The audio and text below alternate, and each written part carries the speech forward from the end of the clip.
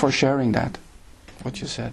Yeah. You only mentioned about thoughts being around, and then Mhm. if you're feeling um, less than or limited or whatever, you're Yeah. feeling lonely, and then a, a thought comes from somewhere and it engages.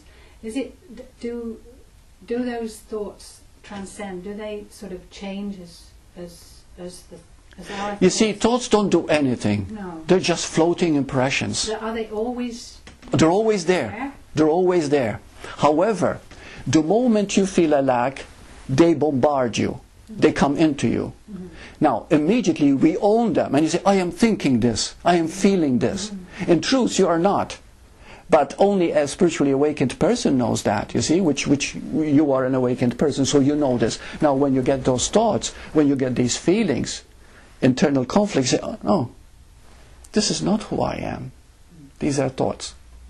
You take a deep breath and you say, I am. You don't have to do anything. Just, just, I am. That's it. Now, the moment you start doing that, you're becoming stronger. Right.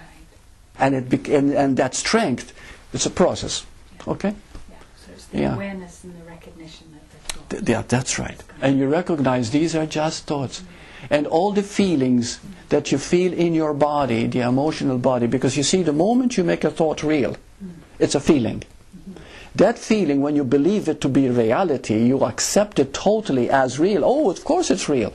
Okay? The moment you say, of course it's real, it's an emotion. Okay? Motion means motion of energy in the body, and it's a sensation in the body. Now, when it hits the body, the body actually is, is churning, moving, palpitating according to the intensity of that belief. And that's why we have psychosomatic illness. Okay?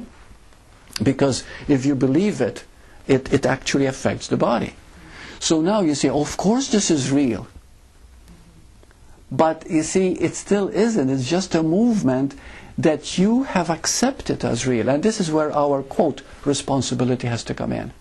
We are not the thoughts that bombard us. We are. We just are. And any feeling that comes, no matter how uh, excruciating or no matter what it is, the, a feeling that is negative is always a contradiction. It's always defeating the very purpose that you want. It's always defeating what you want most.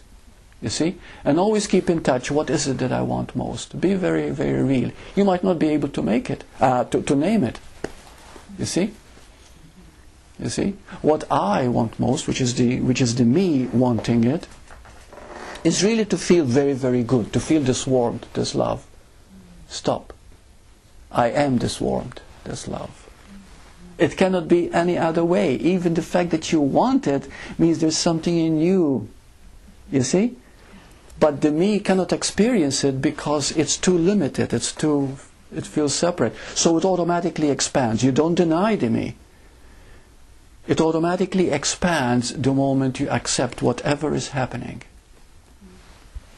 And you see, any limitation, a simply limitation, it has nothing to do with you. It's a limitation.